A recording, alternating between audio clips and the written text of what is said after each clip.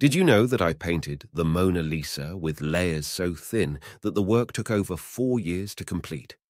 I am Leonardo da Vinci, the man behind the wonderful union of art and science. My most characteristic achievement may be my multidisciplinary approach, but my life was not without tragedy, such as the loss of many of my works and inventions. Don't forget to subscribe and like the video. I was born in 1452 in Vinci, a small town in the Italian Tuscany. I was the illegitimate son of a notary and a peasant, and I grew up with my father while my mother married another man. My childhood was marked by an insatiable curiosity and a love for drawing and nature. In my youth, I was an apprentice in Andrea del Verrocchio's workshop in Florence, where my talent in drawing and painting soon became evident. I learned a lot during those years and began to develop my own ideas and innovations. My love life has always been a subject of speculation and mystery. Some have suggested that I might have had romantic relationships with both men and women, but the truth is that my dedication to my work and studies often overshadowed any romantic interest. My focus was on my art, my inventions, and my constant pursuit of knowledge, which was reflected in my wide range of interests and skills. The deep emotional bonds I established were mostly with my close friends and disciples. One of my most characteristic and admired achievements is the painting of the Mona Lisa, a work that has intrigued and fascinated generations.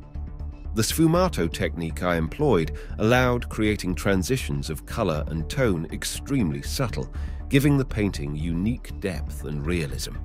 The enigmatic smile of the lady and her captivating gaze have led to countless interpretations and theories. In addition to my contribution to art, I devoted myself to a wide range of scientific and technical studies. My sketches and designs of machines, such as the helicopter, the parachute, and the tank, were centuries ahead of their time, though never built in my lifetime.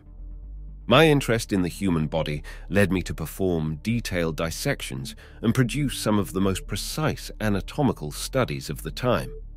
Although these achievements did not translate into concrete inventions during my lifetime, they laid the groundwork for many future advances in various fields, from engineering to medicine, demonstrating my truly Renaissance character and my ability to see beyond the obvious. My end came in the year 1519 in Cloux, France. The last years of my life were marked by progressive physical weakening and, according to some reports, the paralysis of my right hand, which limited my ability to paint but did not extinguish my inner fire and desire to learn. The most tragic was not my death itself, but perhaps the loss and scattering of many of my works, designs, and studies. Much of my life was dedicated to researching and creating, and although I left an unparalleled legacy, much of what I designed and discovered never materialized or was lost in time. On my deathbed, according to legend, I was visited by King Francis the Bourbon, who held me in high regard. Reflecting on my life, it's incredible to think about what I achieved in various fields, from art to science. Despite tragedies and challenges, my work endures as a testament to human curiosity and the relentless pursuit of truth and beauty.